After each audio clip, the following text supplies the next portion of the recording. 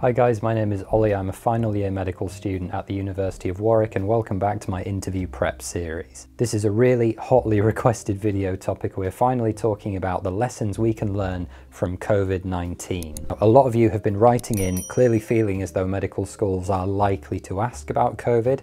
I don't know how likely this is myself. I'm not sure what the value uh, necessarily would be, but the way I'm going to frame this video is what are the lessons that we can learn from the crisis what have we learned um, in the NHS and what can we take forward and maybe apply to our own clinical thinking and our own understanding in the future should something like this happen again. And I'd also suggest you don't need to have too much medical knowledge about the SARS-CoV-2 virus. But as with most things when it comes to interviews, what's going to be more helpful is being able to place the issue in a wider context and taking away the key lessons. And these are just my own musings and takeaways, so take everything with a pinch of salt, but these are the important things that I feel as though I've observed over the last year or so. So firstly, we have learned a huge amount about human behaviour and the need for effective leadership. You might consider the different types of reaction from the general public, which range from complete terror, I'm going to shut myself inside and never leave, to the other end of the spectrum, where we have complete denial that COVID even exists and any attempts at a vaccine are some sort of hoax perpetrated by Bill Gates to try and microchip us all or something like that. And both of these reactions, this overhyping in some cases or complete denialism in others, all of this continues to happen even as research paper after research paper is churned out and we're learning more and more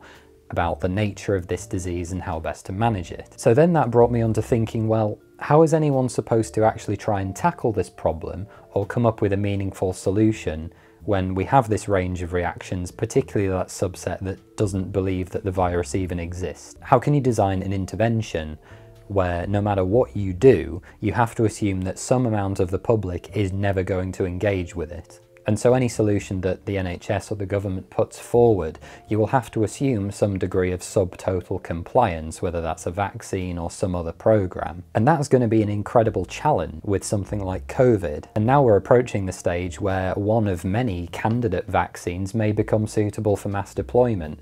But what does that even mean if not everyone in the population is willing to take it and we can't convince enough people to reach the levels of immunisation that we would need for vaccination to work. And that's also not to suggest that everyone is willfully ignorant, because although they were small in number, we have seen nurses, doctors, surgeons, um, coming out and being very vocal at things like anti-lockdown protests, anti-mask rallies. You have members of the medical workforce backing up these these pretty fringe ideas. So to some degree, it's perfectly understandable for the public to be skeptical or misunderstanding of what the majority of the medical workforce tries to put forwards. And it's extremely clear that we need strong leadership and strong guidelines and strong adoption of those guidelines but again, what does that mean when you have health professionals who are seen to be figures of authority speaking out against those guidelines? Who is the public supposed to trust or take seriously? And the last thing I want to say about that is that we really need to avoid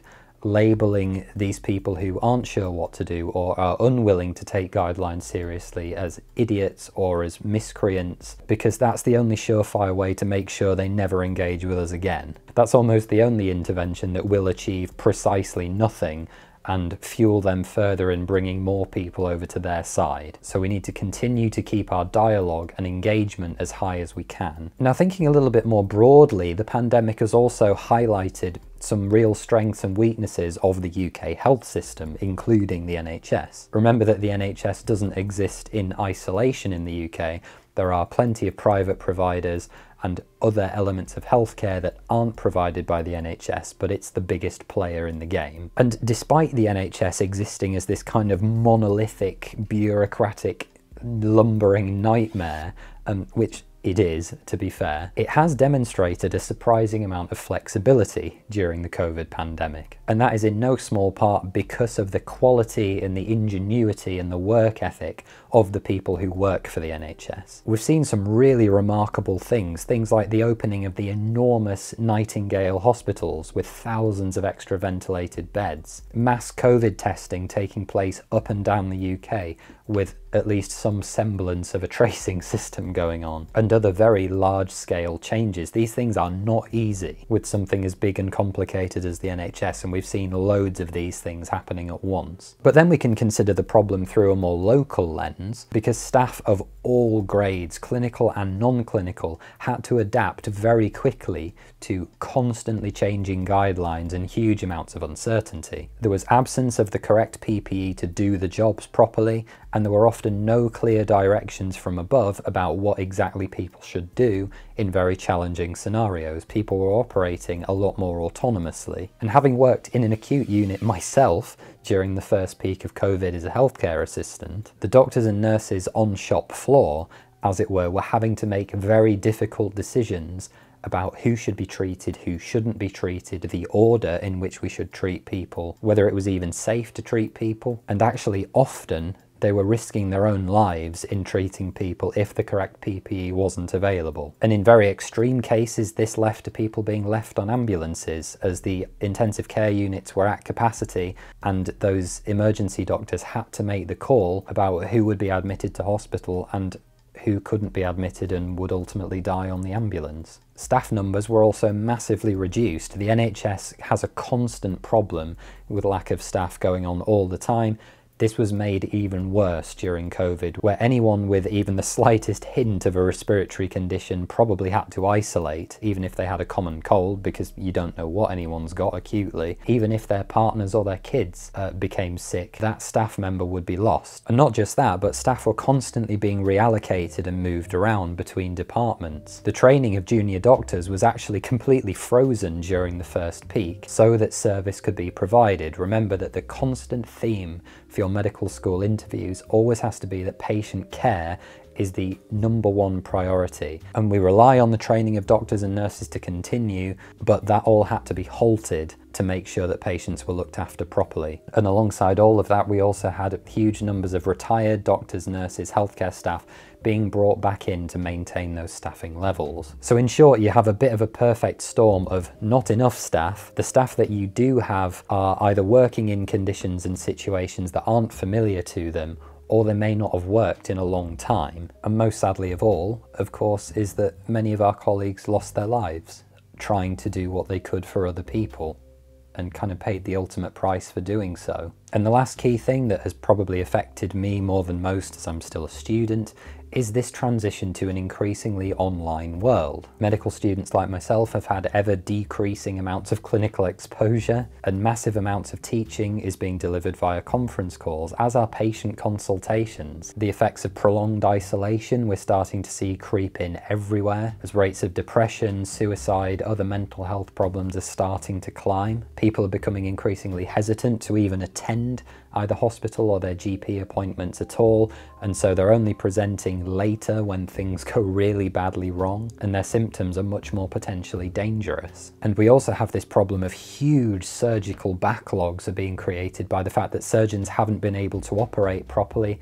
for infection control reasons during the height of COVID. And the likelihood is, is that we're going to be dealing with this backlog for years, as more people are waiting for simple operations, things like joint replacement, cataract, all of that stuff has been pushed back and the backlog, the pile of work is getting bigger and bigger and bigger and it shows absolutely no sign of slowing down. So in short, the COVID-19 pandemic has turned the health service on its head as it has done most of our ways of life. But to return to the actual question, what can we learn? Finding novel solutions to these problems and maintaining clear leadership and guidelines throughout this whole process is extremely difficult and maybe it's impossible. However, we are capable of adaptive change and progress when it's required, and by and large the NHS as an organisation has done really well, although sadly we have still lost huge numbers of staff and patients. And lastly, the thing to remember is that there will likely never be a perfect solution to any of these problems because we have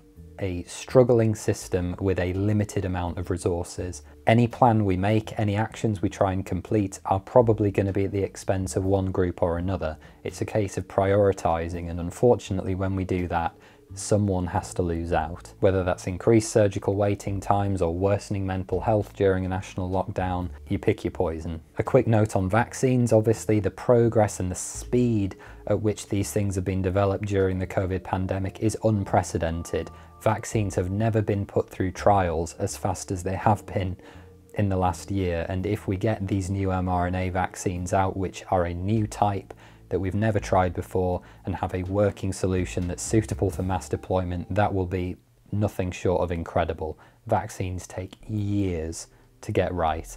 And the fact that multiple groups have been able to come up with viable candidates which appear safe you know, at least speaking at the moment, that that is nothing short of a miracle. So that's where we're going to wrap, guys. Don't forget to go ahead and hit that like button, leave me a comment, subscribe, and don't forget to go and check out ollieburton.com for my full course of interview videos and more hints and tips just like these. Take care, and I will see you next time.